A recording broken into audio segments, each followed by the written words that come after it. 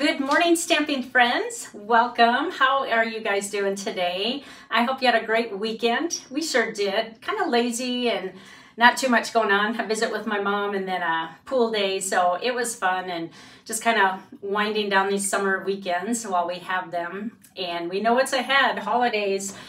Well, I wanted to let you know that Stampin' Up! is having a sale starting today actually. And almost all of their designer series paper are on sale for this whole month. They're 15% off. Now not 100% of them. There's some online exclusives that are not but i just want to share just in case you're curious which ones are and aren't. So we have bright and beautiful and we have countryside inn. We have country lace country woods whoops and full of life. Says lots of designs. Lily Pond Lane, two pages of that one. Mediterranean Blooms. Perennial Lavender. Take to the Sky. Thoughtful Journey, another two pager. To Market. Unbounded Beauty, Wildly Flowering, and last but not least, Winter Meadow.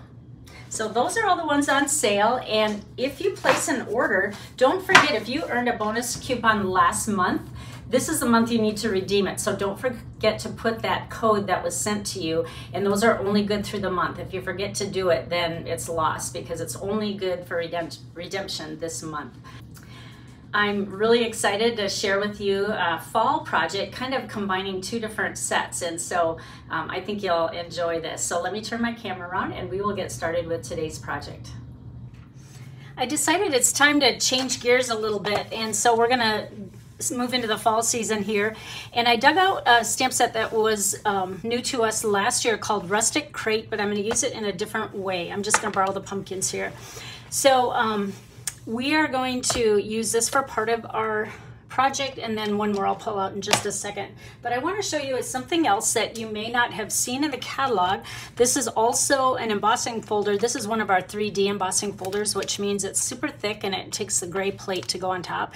And I always write on here, this side faces up. I like the, um, a lot of people wonder what way their paper should go. I like the um, I like the indentations to pop up at me. Sometimes I use it the other way, but I marked it usually, usually, not all the time. It's the side that has the Stampin' Up! logo that should be your right side up, but I put a bigger sign there for my customers when they use it.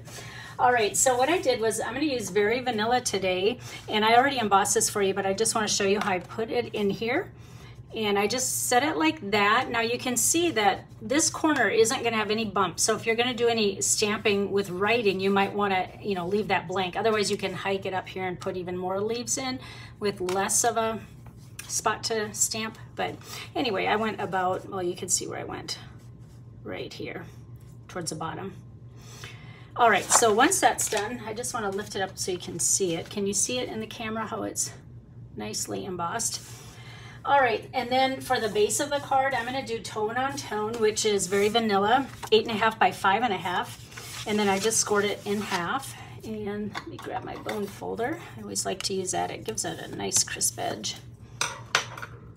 All right, I think I'm gonna wait to put this on the card front, and so I'll set that aside. Now we're gonna build on this, but first we have to get the pumpkins going. Now, I'm don't judge me on this. Look at how stained my stamp is. This shows you how much I used it, and I even cleaned it. and this is it cleaned. Before it was totally black and you couldn't even see the lines. But I want you to know, oh, my black is dirty too. I want you to know that this doesn't matter if it's dirty. It will still stamp the same way, and I will show you that. So um, I just took a scrap piece of Very Vanilla and I'm going to grab my Memento ink because I'm going to be using blends on this. So just ink that up. And then I'm going to be die cutting it so it doesn't really matter where it falls here. All right, and then I'm going to show you the palette of blends that I'm going to use. I'm not sure if I'm going to do light or dark, but I just pulled them all because I like these colors. So first of all, I have Pumpkin Pie, Daffodil Delight, these are both light and dark, Old Olive and Pecan Pie.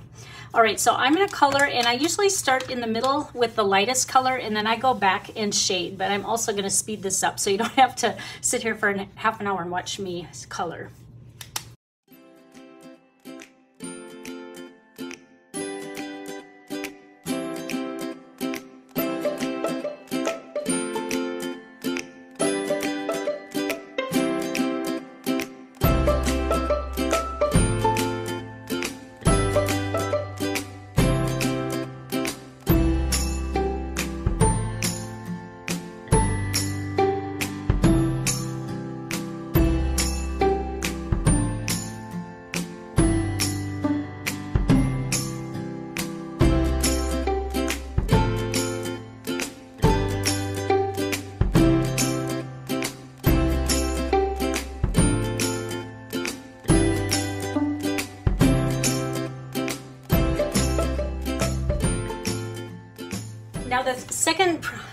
That I'm gonna bring in is filled with fun, but it's just the dies. I'm not gonna use this stamp set because I'm gonna use the pumpkins, but I just wanna show you what this comes with. And again, you cannot find this in a catalog because this is an online exclusive.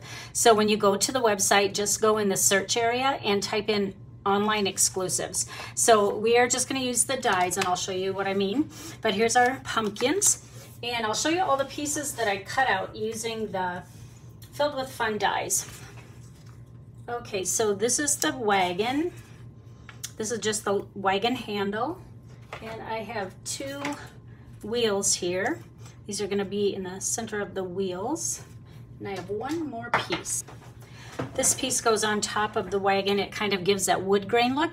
And I think pecan pie is the best fall color to just pull all your projects together. It's just such a nice, rich color. We used to have one that was similar to this called soft suede, but this is the new color and I just really like it.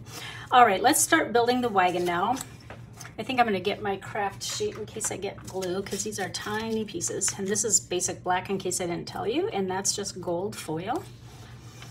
All right, let's start by putting these wheels on.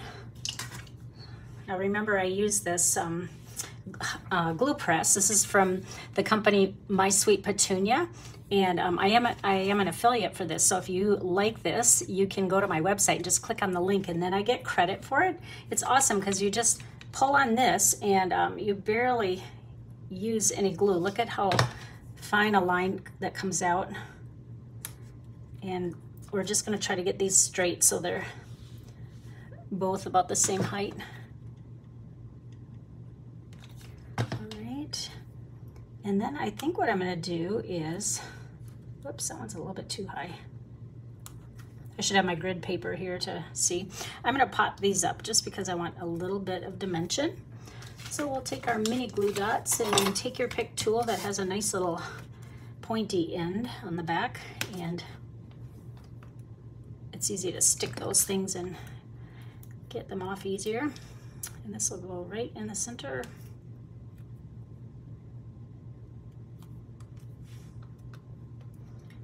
It's hard to get into this fall mood sometimes because it's still in the hundreds here, but the show must go on. All the stores have fall and pumpkins and things like that, so it's just different living in Arizona. I, I remember when I first moved here, I was calling my friends saying, it's October and I, it's still shorts weather, but everybody has jeans on. I don't know if I should wear jeans or shorts or what. I could not figure out the seasons here because it was still so hot.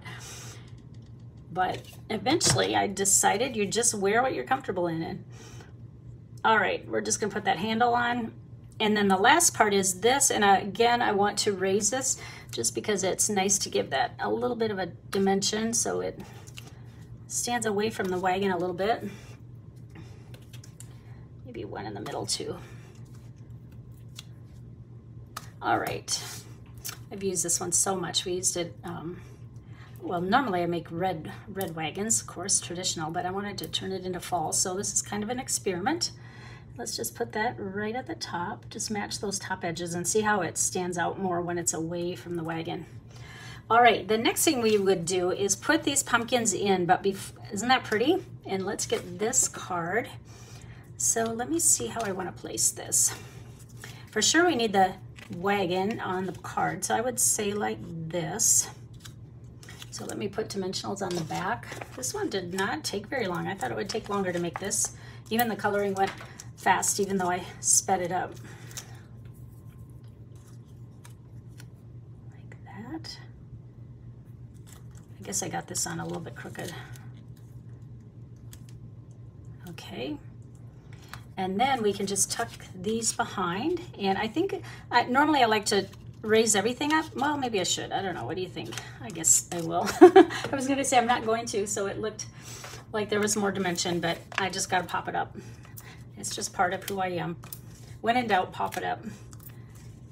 Now, once I get this on, then we're to put it on the front of the card, but we need to probably put some words on here somewhere. Maybe not. Oh, isn't that pretty? They should have added one in the stamp set. All that they have flowers and um, gifts. And so, but they could have hit every season. We do have a new Christmas one that goes in this too, though I have it ordered, but it hasn't arrived yet. All right, so the sentiment that goes on, I don't know. These are the ones that come with rustic crate great, but you could really Speaking do anything. of my um, next online card club, maybe I'll just write on the August inside. I'm not 10th, sure where and I we will be using the bundle because if I stamp on here, I already embossed it, and these are too long anyway. If anything, I would probably do the for you, but I think I'll just leave it. I think it looks fine just like that, and then I can use it for really any occasion.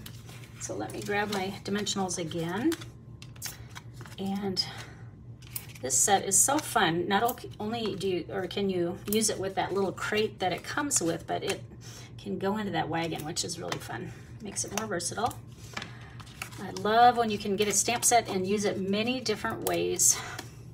How many of you remember me using this last year? I did this for my online card club and that one I had a lot sign up for. A lot of people liked that bundle and so um, I just decided to pull it out again. I was so glad that it didn't retire. Speaking of, in case you're interested in my online card club, the next bundle we will be using is Spotlight on Nature, and the deadline to sign up to get in on this month's projects is August 10th. I will have the links on my blog and on my Facebook page so you can click there to read more about it. One more thing I want to show you, I did add some adhesive back sparkle gems. These are so pretty. They come black kind of a goldish color, which I added here. And they also have silver, which you can color any color. So I added those. I could have used black or gold. I chose to use gold. And then also our black and white checked ribbon. I wanted to add this too. And it is, or actually not black and white, it's black and vanilla now, which is kind of why I chose the vanilla cardstock to make this card. And I just want to add this, um, I think in the front. Let me grab a mini glue dot and that will be the finishing piece on here. And we'll just tuck this in this empty area here. There we go. All right, that makes it. All right, there you have it. Now, if you see any products that you like and um, would like to place an order, please go to my online store. And if you use the host code and if your order is over $50, you will receive a thank you card from me and also a Stampin' Up! product as my way of saying thank you so much for your business. Also, if you earned a coupon from bonus days last month, make sure you redeem that because those are only good until August 31st and then they will be void. So make sure you use those this month. Thank you again, everyone. I hope you have a great week, and I will see you next Tuesday morning right here again. Bye bye.